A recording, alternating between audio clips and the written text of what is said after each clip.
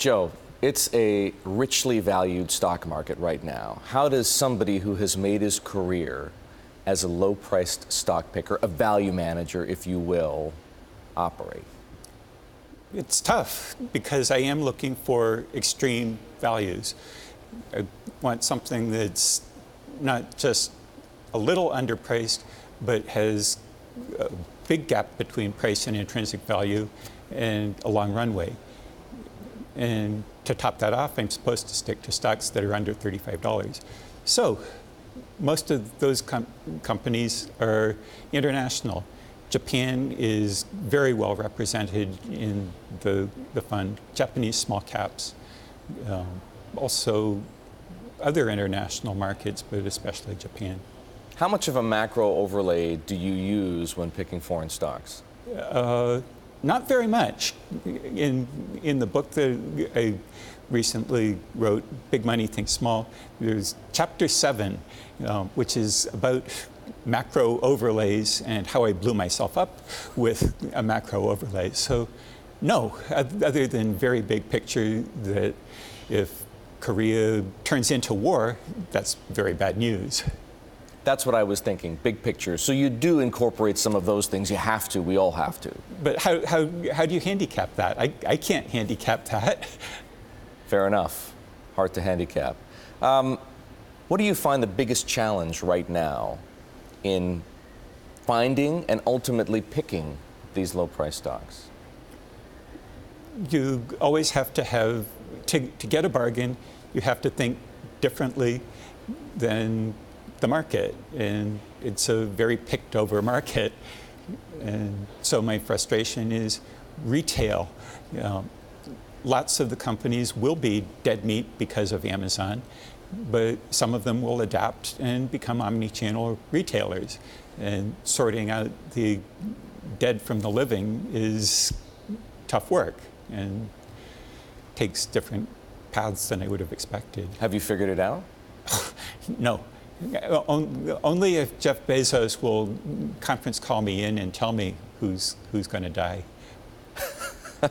I'm not sure he knows. He's right. got his ideas about whom he wants to kill. Yep. Um, have you found any companies that you think will survive and thrive in this retail transformation underway thanks to Amazon? Uh, it's a moving target. I, I, thought auto parts retailers were well protected, but the same day delivery that comes with Whole Foods could also be used in auto parts, and I thought that protected auto parts retailers.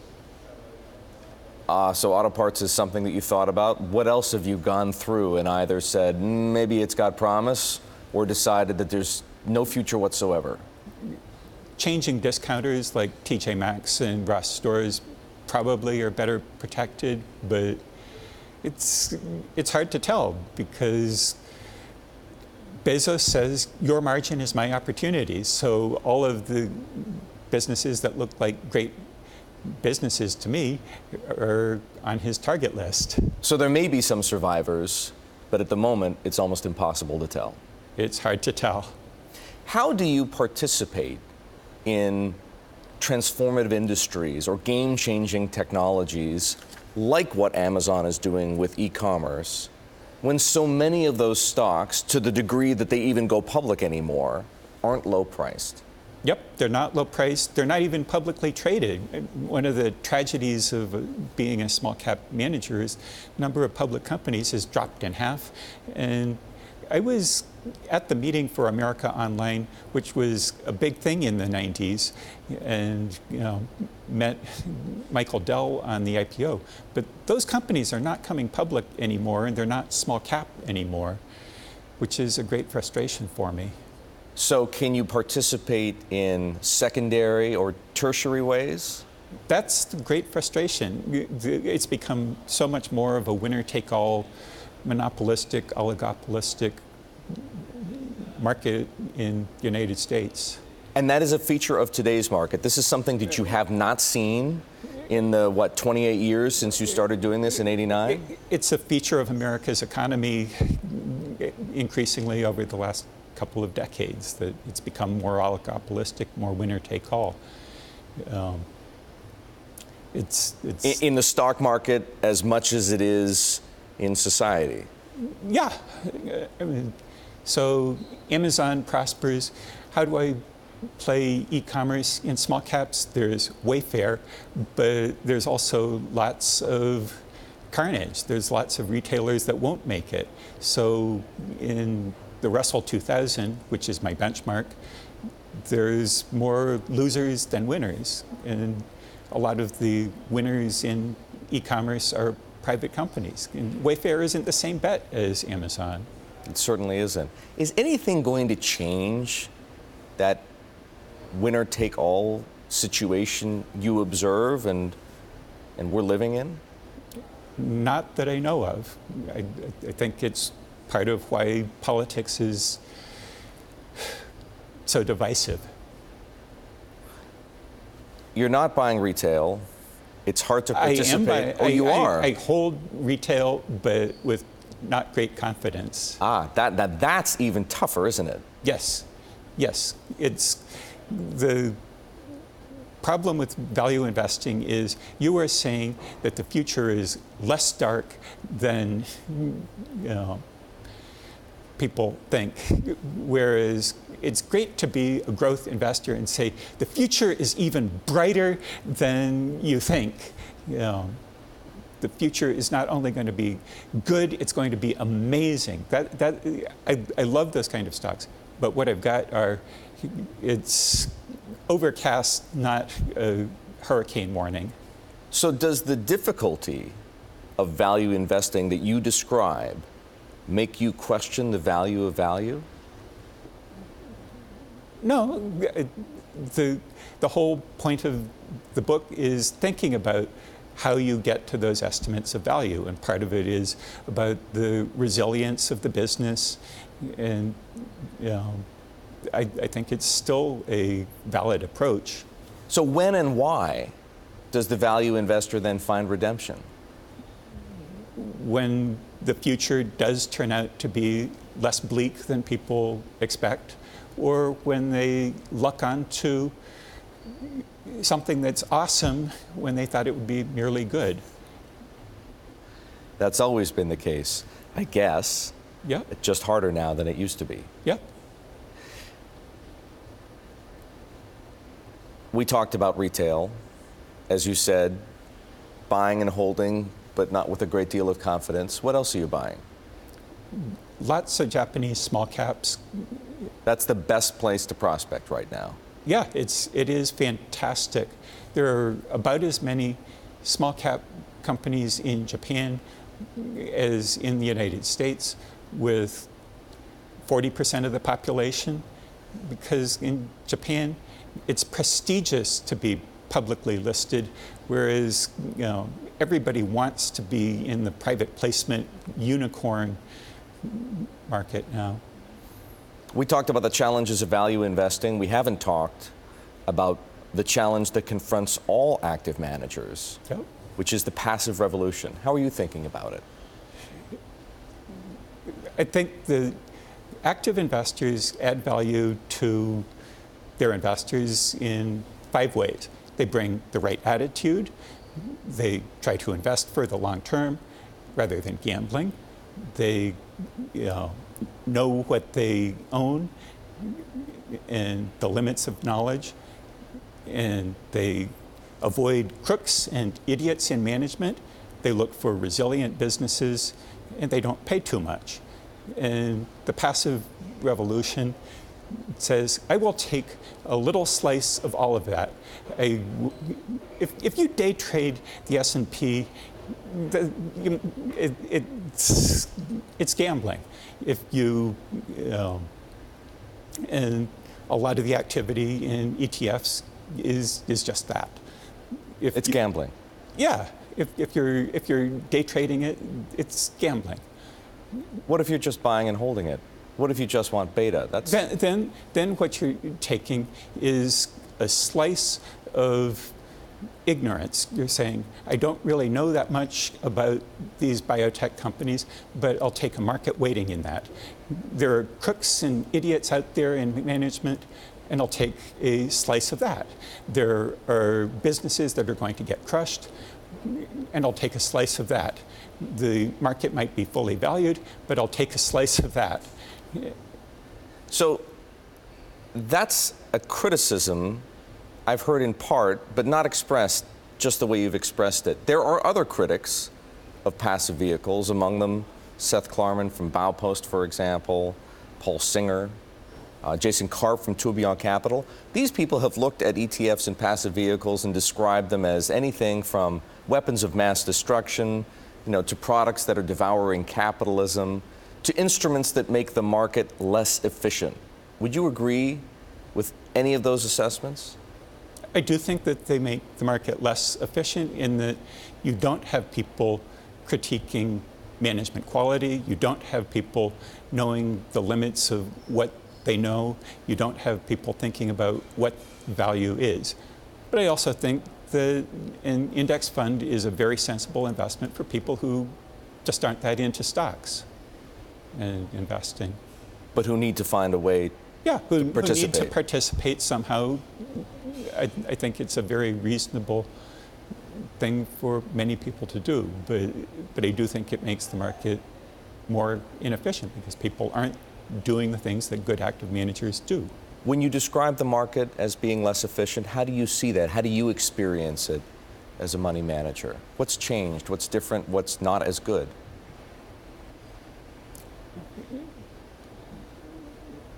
I, I think there are group moves.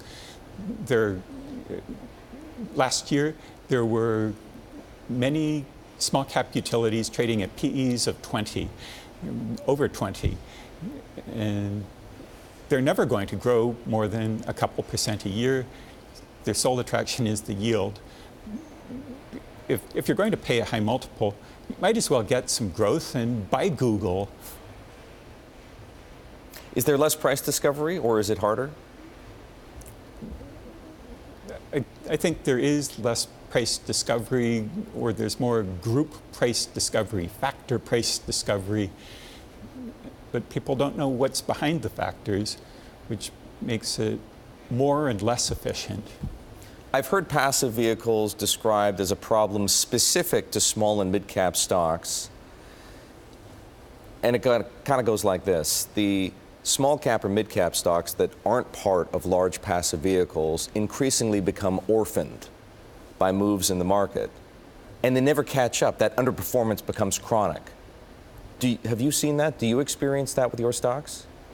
Yes, or if people sack their active manager and move to passive, the net effect is they buy everything on balance that the active manager didn't own. And so those stocks outperform, which can be frustrating when loss making companies of all types or companies where we thought management was subpar outperform. Given what you've said, all the same, should Fidelity have arrived to the ETF party a bit earlier? Yeah.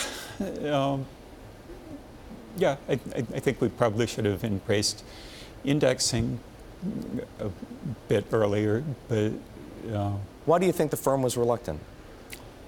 Because we have such a great heritage in active management. Because we have fund managers like Peter Lynch or Will Danoff who, or yourself, thanks, um, who have done very well. You don't love bots, but would you consider, if someone asked, designing a low-priced stock ETF?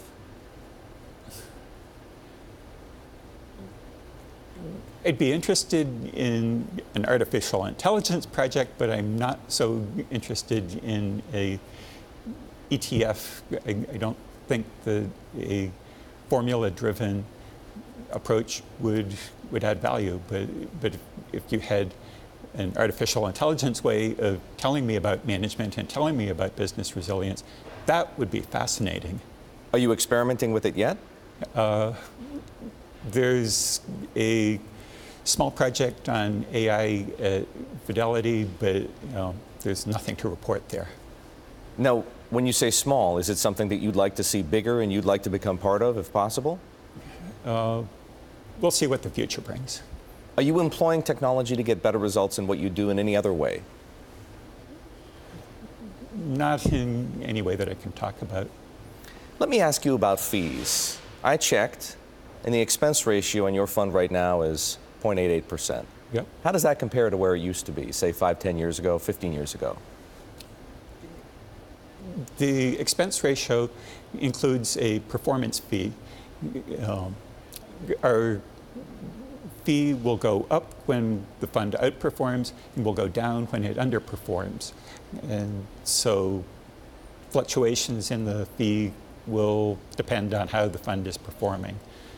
The, uh, So let's take out the performance fee. it's been relatively stable. Where do you see it in five years? Probably lower since clients are moving towards lower fee